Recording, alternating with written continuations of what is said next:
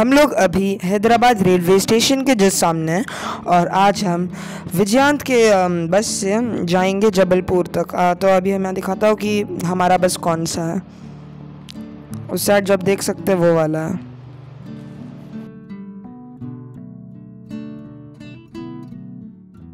चलिए अब हम आपको दिखाते हैं कि बस का बाहर से लुक कैसा है।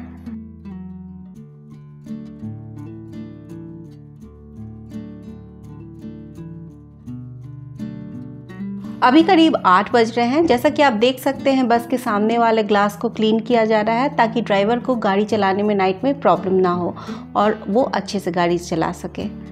अब हम आपको बस के अंदर लेके चलते हैं और देखते हैं बस के अंदर का व्यू कैसा है। बस का इंटीरियर बहुत सुंदर है। चलिए अब हम आपको दिखाते हैं हमारा सीट कैसा है। हम लोग का अपर का दो बर्थ है और दो बर्थ लोअर है और इस साइड सिंगल बर्थ होते हैं। और इस साइड डबल बर्थ है। ये वाटर होल्डर है, उसके जस्ट ऊपर स्पीकर दिया हुआ है, उसके पीछे एसी वेंट है और उसके पीछे लाइट है। और यहाँ पे चार्ज चार्जिंग स्लॉट दिए हुए हैं और दो मोबाइल होल्डर है। और ये देखिए, ये लोअर बर्थ है। इस तरह का सेम डिज़ाइन है। सीट काफ़ी स्पेसियस है और साफ़ सफ़ाई का पूरा ध्यान रखा गया है।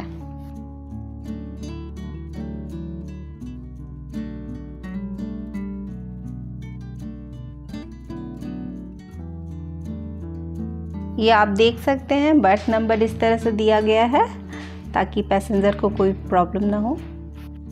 बस का डिपार्चर टाइम था साढ़े नौ बजे और एग्जैक्ट टाइम पर बस वहाँ से खुल चुकी थी।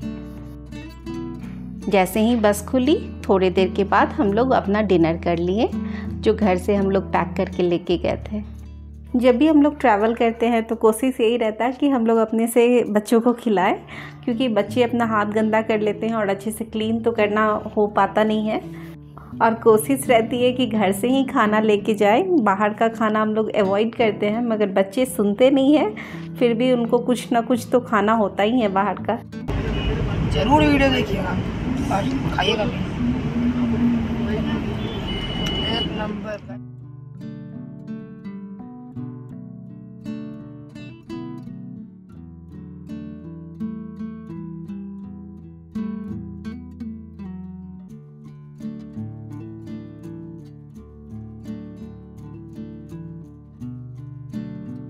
रात बारह बज के दस मिनट पर बस तुपरन में एक लाइन होटल में रुकी थी।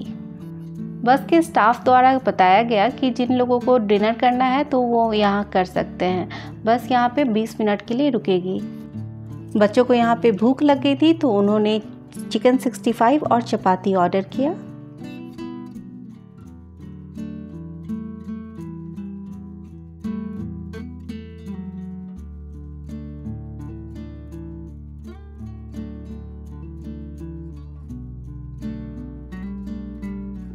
बस लाइन होटल में करीब 25 मिनट तक रुकी थी।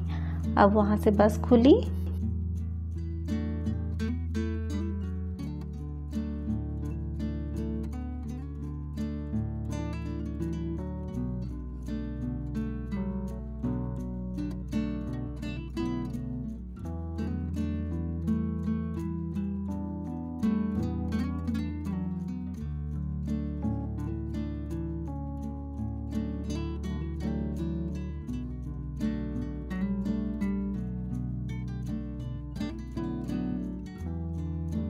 बस दूसरी बार करीब चार बजे के आसपास एक हाईवे होटल पे रुकी और हमें यहाँ बताया गया कि यहाँ बस 10 मिनट के लिए रुकेगी।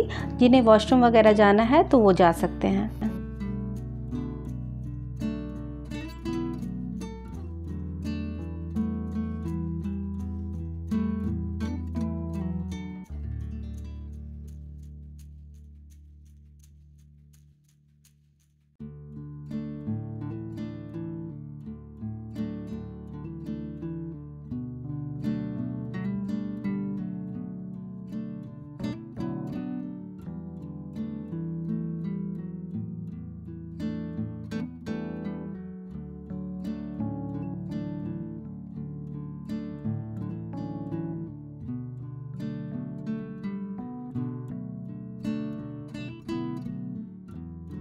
अब हम लोग नागपुर पहुँच चुके हैं। ये जो पीछे वाली बस है जो रेड कलर की है अब उसमें हम लोग को शिफ्ट करना है नागपुर से जबलपुर जाने के लिए।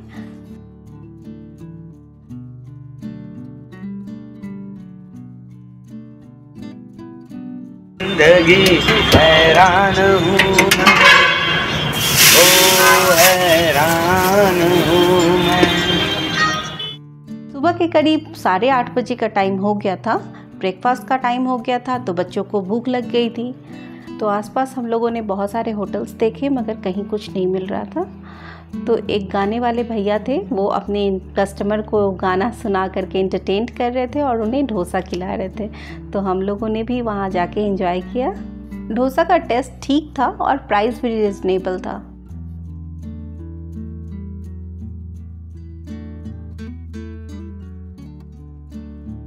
बस करीब सवा नौ बजे जबलपुर के लिए रवाना हुई।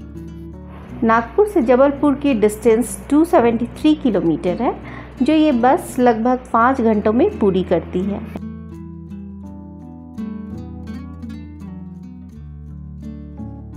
बस से ट्रैवल करते हुए हम लोग को 12 घंटा हो गया, मगर अभी तक ज़रा सा भी थकान महसूस नहीं हुआ। रोड का कंडीशन बहुत ही अच्छा था। बस बहुत स्मूथली चल रही थी और बस के अंदर हम लोग बैठे हुए थे। बिल्कुल हम लोग को जर्क महसूस नहीं हो रहा था। जैसे जैसे हम लोग आगे बढ़ रहे थे तो मौसम और आसपास का हरियाली देख करके बहुत ही अच्छा लग रहा था। ये हम लोग का पहली बार सफ़र था बस का, जो इतना आरामदायक और आनंददायक रहा। क्योंकि इतना लंबा रास्ता का सफ़र हम लोग बस से अभी तक किए नहीं थे और सोचे भी नहीं थे कि इतना आराम से हम लोग चले जाएँगे, जो बहुत ही अच्छा लग रहा है। अगर आप लोग को भी कभी अगर बस से ट्रैवल करना हो तो आप आराम से कर सकते हैं। रोड बहुत ही अच्छा है, आपको कोई भी प्रॉब्लम नहीं होगी।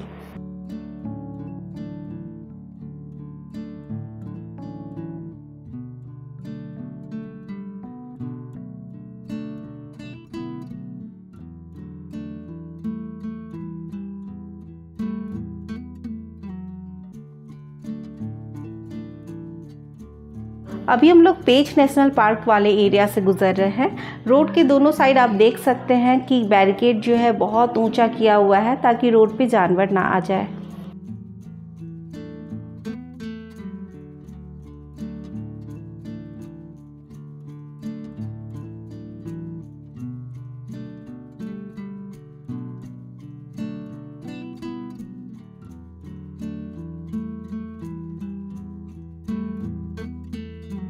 बारह बजे के आसपास बस एक लाइन होटल पे रुकी और हमें बताया गया कि यहाँ पर बस पंद्रह मिनट के लिए रुकेगी। जिनको खाना खाना है वो खा सकते हैं। ये देखिए फ्रेंड्स ये सामने वॉशरूम है और आप देख सकते हैं कि कैसा कंडीशन बना हुआ है।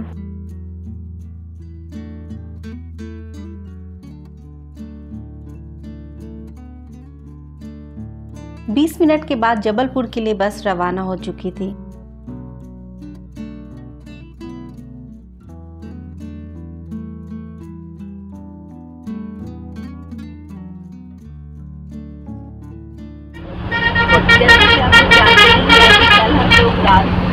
साढ़े नौ बजे ज्ञान ट्रैवल से हैदराबाद टू जबलपुर का ट्रेन तो जब हम लोग हैदराबाद रेलवे स्टेशन आए तो उसके बाद हम लोगों को ड्राइवर से पता चला कि ये जो बस है, ये बिल्कुल नागपुर तक ही जाएगी और नागपुर के बाद हम लोग को दूसरा बस करना होगा। तो वो ये ही लोग का बस है, विज्ञान ट्रैवल्स का ही। तो हम लोग को कुछ एक्स्ट्रा अलग से पे नहीं करना है।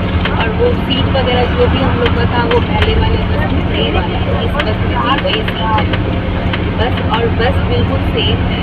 तो इस तरह का प्रॉब्लम हम लोग को नहीं हुआ। बस एक बस से दूसरे बस में लगेज ट्रांसफ़र करना पड़ा और फिर उसके बाद हम लोग आ गए इसमें। कोई दिक्कत नहीं हुआ।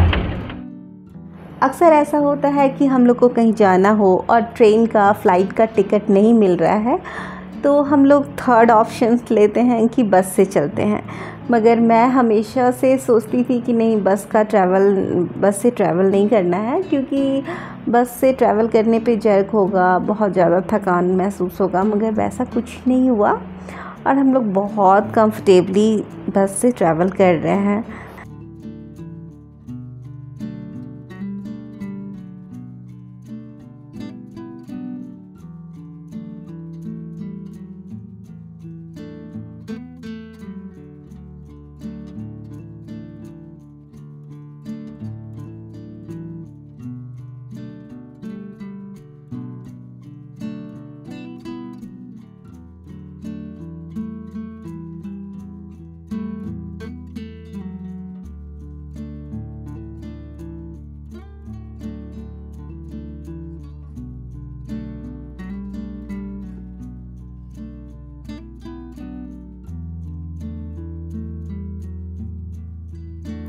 ये जो आप ब्रिज देख रहे हैं, ये नर्मदा नदी के ऊपर बना हुआ है। कुछ ही देर में अब हम लोग जबलपुर पहुँच जाएँगे। फ्रेंड्स, आज का हमारा ये वीडियो आपको कैसा लगा? अगर अच्छा लगा तो प्लीज़ इसे लाइक कीजिए, शेयर कीजिए, कमेंट्स कीजिए और हमारे चैनल ट्रैवल कॉर्नर्स को प्लीज़ सब्सक्राइब कीजिए, ताकि मैं इसी तरह का आपके लिए अच्छी अच्छी वीडियो बनाती रहूँ। और मुझे बहुत मोटिवेट कीजिए अपने कमेंट्स से। अभी हम लोग जबलपुर रेलवे स्टेशन के नज़दीक में ही एक होटल बुक किए, जिसके बारे में हम विस्तार से अगले वीडियो में बताएँगे। अभी कुछ देर के बाद हम लोग भेड़ाघाट के लिए निकलेंगे।